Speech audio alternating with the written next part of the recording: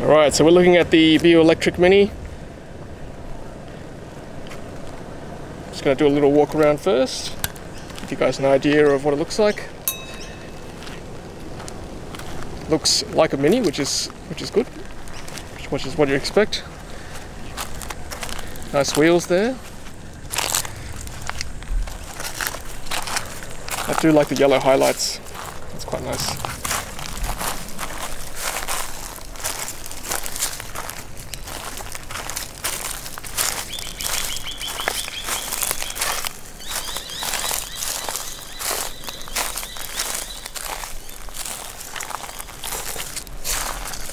That's the charge port there. We'll have a look at that in a second.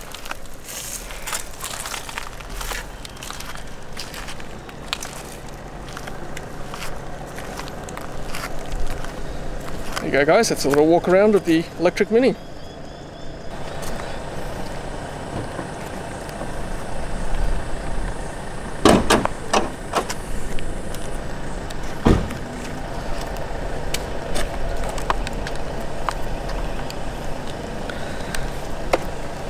So no frunk storage space.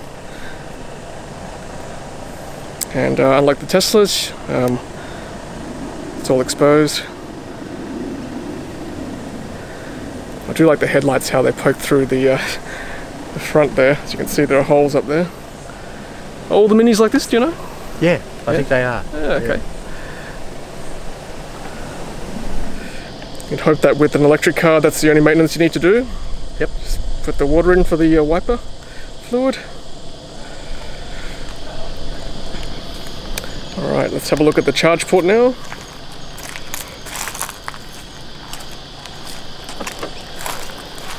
I believe that's a CCS2. Yes. So you got your standard bit. Yep. And then for the uh, rapid DC charging, Yeah. Cool. Thank you. little covers. Some indicators there on the on the side. Inside cover. Yep, just so you know Yeah. what it's actually doing. Okay. Also, the uh, there are lights, I assume. Yeah. Yeah. Light to see. Oh yeah, right there it is. I'm just up coming- there. Yeah. Nice. So that tells you when you got it plugged in and charging what it's doing. Okay. Very good. And obviously appears on the screen inside too. Yeah. All right. Let's have a look at the uh, the boot now. The enormous boot space. Yes. Like any mini, you don't buy a mini for uh, storage space. No. It's alright. Fits the shopping. Yeah. Daily round town kind of errands and things. So you were saying, Michael, that uh, that charger is uh, included with the car? Yep. So it comes with a standard just plug into the wall socket charger. So it's only going to be a slow charge. Obviously you can uh, put in a charger at home yourself if you want to. You can buy a faster charger. Mhm. Uh, I've got mine with my uh, solar panels with the solar inverter. So I didn't need to buy anything else for that. Nice. And it comes with a little um, puncture repair kit. No, no spare obviously. Ah, no spare. comes with the puncture, Yep. puncture repair kit. Can you show us how you put the seats down as well, as you did before? you can do that from here. You can come down, obviously. Take this one out if you want to. And if you want a flat storage space, you can lift this up and put it in so that it gives you a flat storage space as well. Yeah, that's very handy.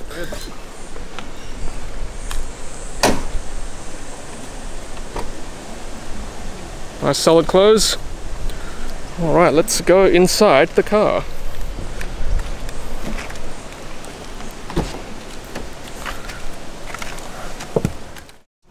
Unlike the uh, Teslas, it's a bit more like an ordinary car inside.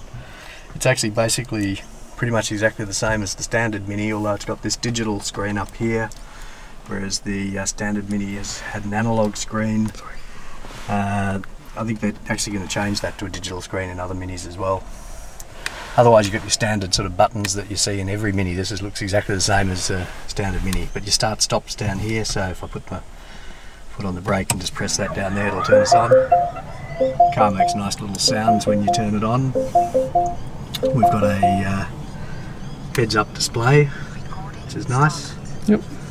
Um, then your, your standard uh, cluster here for all the different uh, infotainment type stuff. So we can change that around. Uh, go to the menu. So you got your little controller down here, very BMW-esque, I think, I believe. Not that I've had a BMW, but rotate it around, you can get your Mini connected or My Mini for all your uh, settings and so on. Yep. In there. Just go back. You've got your own uh, mini navigation system, uh, but it's also got Apple CarPlay, and so you can use either Google Maps from your Apple CarPlay or the mini navigation itself. See when I um, change things, it's got this little display around here as well Mm. that lights up for different things depending on what you're doing. So it'll light up with the speed when you're driving, it'll show you the temperature if you change the temperature. There it goes, turning the temperature up, turning the temperature down. Mhm. A little bit gimmicky but nifty. So that's the BMW colours, right? Yeah. uh, but it's different colours for different things. So if I turn the, uh, the volume will still be very confident. They obviously Matches the the- Oh yeah. volume on there, just listening to the cricket at the moment. Yes. Uh, so it's got yeah all your different uh, little bits and pieces in there. You've got your standard glove box. Not a lot of storage. Yep. Um, now that's really the only closed storage. Otherwise, you've got you know your standard drink holders and and so on. Yep. Uh, but not much else for storage. What it does have though, which is quite nice, is wireless uh, Charger. charger yeah, for your phone. for your phone Nice. uh, which takes up to the latest iPhones. Yep. Nice big size as well. Um, so phone sits in there, so it charges automatically and obviously links into the system. Very good. Um, so that's nice. The armrest does go back as well, if you want to. Oh yeah. So you can either have it up or down. Yep. Which again is sort of nice. If you want a bit more room there, there's a little storage down in there Oh yeah. if you want it, and this can handy. go into different positions depending on how you want it. Just adjusting it there. Oh yeah. There you go. Different levels. Yep. Uh, electric park brake. So um, have to remember that. Having driven the uh, Tesla for a while, It doesn't park automatically. you have to. Well, I think it does. I believe it does. If you forget to put it on, it will put it on. But um, you got to try to remember to put it on, basically. Yep. Notice the uh, the gear shaft here. Is that Yep. electronic there? Yes. Uh, well, no, it's a shift, so you have to push it. So if I push it, it's not going to do anything because I haven't pushed the button on the side. Oh, right. but push to go reverse and towards to go into drive and just push for, for park Yep. um, on there. Again, that's basically the same as in their standard minis in terms of appearance and so on. Okay. Um, so again, a little bit different to the Tesla where it's all on there Mm. on your uh, steering wheel. Yep. nut. You've got all this extra stuff. Yep. Uh, much more standard sort of uh, steering wheel compared to the Tesla. You've got your indicators on the left, uh, windscreen wipers on the right. You've got your standard controls and things on here, so cruise control and then your um, infotainment controls, hands, you know, voice voice uh, control, telephone answer and hang up on there. So all the standard things that you see these days. Okay, so you've got our digital display on here where we've got the battery. Um, you can actually, uh, with the onboard computer, get a, an actual display of how much battery you got left versus this little one which goes down in incremental things. Um, 14.1 kilowatts per 100 kilometres, Yep. so it gives, gives an idea. Battery is, I think it's 32 kilowatt battery, so I mean, uh, on what I'm using at the moment would get, you know, around 200 kilometres out of a charge. I say 230, you know, I mean, it's going to be somewhere around that 8, you know, 180 to 220, something in there. And then the uh, power we're using, as I say, on the other side there. Uh, when we're driving, this will have the uh, speed on there, but you've also got a heads-up display, as we said before. Um, and all your warning lights and things will come on in here as well. So if I toggle the regenerative braking, that's low energy or standard energy, and it just toggles between these two little displays here, showing whether you've got low energy or full regenerative. I like the full regenerative, uh, as we all do that like electric cars, I guess. Absolutely. all those seats are manual adjustments rather than electric seats. Uh, whether they're doing that to save battery power, I don't know. But um, Seats, yep. so just manual adjustment on the seats, forwards and backwards, Yep. up and down. And this one, which you tried to get in with, is the uh, backrest. Yep. It does have a uh, lumbar support as well, which is on the inside here. Again, manual Yep. adjustment on the lumbar support. Uh, and the other thing that's missing in the car is uh, BLIS. There's no BLIS in terms of the uh, when you're driving with your mirrors and so on. So you've got to make sure you're keeping keeping your eye on your mirrors. There's no uh, warnings if there's something in your blind spot. Gotcha. One. And it's uh, not a glass roof, is it? I didn't see one inside. No, no. All right, I think it might be time to go for a drive. What say you? Yep, let's do it. Okay, let's do it.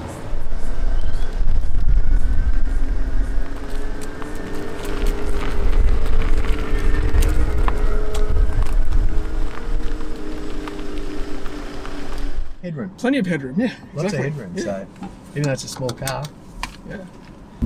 So I read zero to 100 in about seven seconds. yeah, that's what they reckon. It certainly feels plenty nippy. Um, I mean, we also have a, a three, and it's certainly not as nippy as the, the Tesla three. But I tell you what, it doesn't feel far off it. No. And for the sort of driving you want for this car, which is basically city driving, Mhm. um, you don't need it any more than that. Mm. And I'm mainly driving it just in its standard mode. By standard, it means acceleration wise? Yeah. Yep. Yeah, so it's got four modes. Uh, standard, sports, and the two green modes. Mhm. And uh, as I say, I basically take it in the uh, standard mode. And uh, we were saying uh, 32 kilowatt hour battery for 200 odd kilometers of range. And uh, you pretty much use this as a town car, don't you? Just back and forth from home to work at this That's stage? basically what I bought it for. Mhm. And because we've got the Tesla 3 for long range driving. Yep. So it makes a good secondary car, basically. It's perfect for just driving around town, as Yep. I say. And uh, yeah, obviously stick it on the charger. It doesn't take long to charge it either, Absolutely. because it doesn't have that much battery to charge. That's true. Do you know how much, what's the charge rate? Is it single phase, 7 kilowatts? Uh, yeah, well, my charger at home charges it at, a, at about I think somewhere between five and six. Okay. Uh, that's that's just on my solar charger from home. Hmm. Um, the yeah Mini have a uh, I think a seven charger that charges at seven. Mm. Let's go left. Sure. The lights say go left. Go left. So 7 Oh, is about? 50 kilometers an hour, I guess, isn't it? Something like that. Yeah. Um, I mean, if you do a fast DC charge, Mm. uh, you can charge it, you know, eighty percent. I'll leave that for the moment. It's probably my wife wondering where I am. and yeah, you can charge it, you know, virtually from nothing to 100 in uh, a very short period of time. Yep. On a fast DC charge. Not that I've done it yet. I haven't needed to. No. Well, that's the benefit of a smaller battery, or, you know, you can just charge very quickly, like Yeah. you said. Yep. Do you plan to do any road trips with this? Probably not. uh, it, uh, we bought it as a as a car for just nipping around town. Yep. Um, you know, I like to normally when COVID's not around, travel into town a fair bit, go to uh, a fair bit of live music and so on. And this is the ideal car. Easy to park, Oh, yeah. small spaces, and um, yeah, so it's nice and easy. And then, as I say, if we want to do a road trip, then we take the uh, Tesla 3. Three. Do you mind me asking how much this cost, this car? So this is sixty thousand on the road. Um, so this is the first generation, which obviously is, they're, not available now. I'm not sure whether the next lot are going to be second generation, slightly different. But then the next batch of minis are not coming till the end of this year, I believe. Wow, it's a long wait. Um, or certainly second half of the year, August, September, something like that. Is what they're saying. Yeah. Uh, this was about the second last one available in Australia to get in Australia. Because I remember I spoke to you last year. You only went for a test drive late last year, didn't you? Mm. Yeah. Yeah, there were two cars left basically. This one and a red one, uh, and a demo. Right. And um, yeah, they were all sold. Well, the red one sold Yeah. before I even put a deposit down on this one. I mean, 60 grand is is actually pretty good. It's pretty achievable for a lot of people. Yeah, it's still a lot more than you know a, a uh, petrol car in some ways, but I mean it's getting there. Isn't it? It it's. It's down there. You know what you're sacrificing is range, but it's it's beautifully finished inside, Absolutely. as you can see. Really Uh, good. So I guess that's the BMW Yeah. thing. They don't want to have something that's cheap. No, no, I was going to say I can't fault finishing. It's really good. No, the finish is nice. Yeah. Uh, it's it's quite a tight suspension Mm. in terms of ride, so it's quite a firm ride. Uh, we might head down this way, go back along. Yeah, it's definitely an electric car. I Yeah, oh, yeah, that. yeah, yeah. It's nice. Now, if you want to put your foot down, you Yeah. can put your foot down. I'm, I'm, like. I'm barely even uh, touching it. Uh, yeah, I haven't had any problems uh, at traffic lights or anything getting off. Good. But it is nice having that acceleration when you need it. Yeah, it's a get out of situations like getting out of a tight turn or something.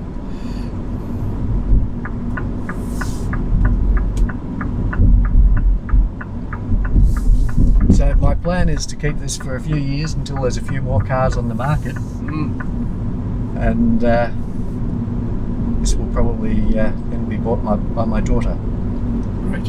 who's always wanted a Mini. Aren't you a good dad? She'll get it at a good price, but you won't get it for free. Got that on record now.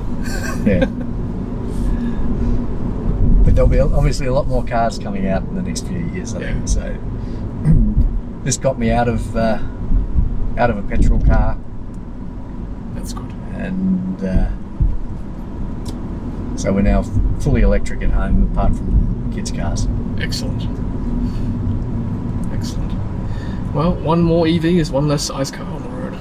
And I feel much less guilty now, because previously, if uh, my wife had the Tesla, I had to drive my petrol car, and I hated getting in the in the end. You kind of let her have all the fun. No.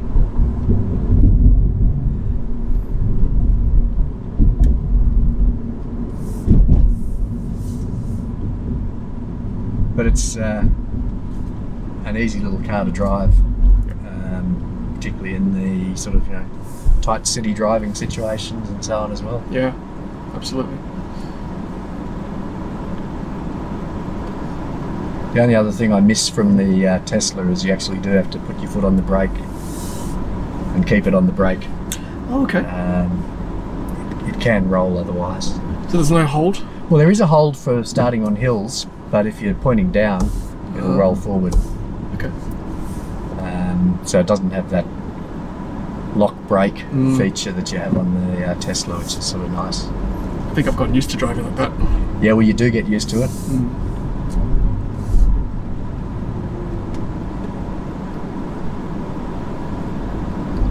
There's certainly benefits to driving a smaller car in the city, that's for sure. Well, we're through a little tight suburb here at the moment, Yeah. But it's handles it easy. No, look, it's been really uh, fun to drive. Actually, That's good. I've really enjoyed it.